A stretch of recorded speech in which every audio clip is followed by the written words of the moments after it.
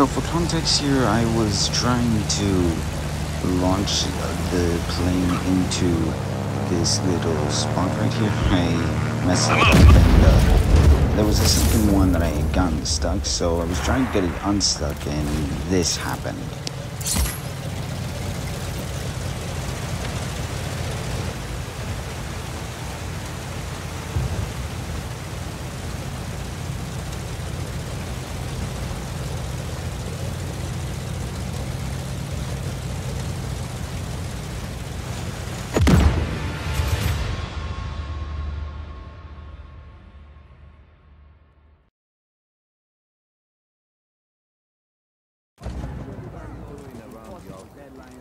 Broken.